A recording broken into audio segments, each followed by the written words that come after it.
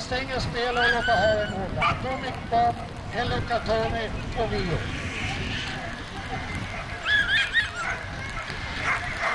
Där går starten. En snabb start av hunden med rätt som har fått ett övertag på en längd och en.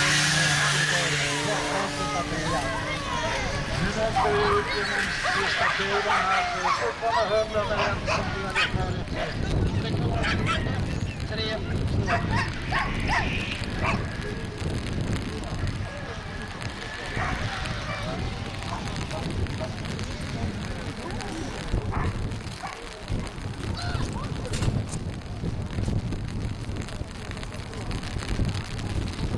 Loppet är godkänt och vi vill ha en segerdefinering av hunden med rätt. Gullöverna in.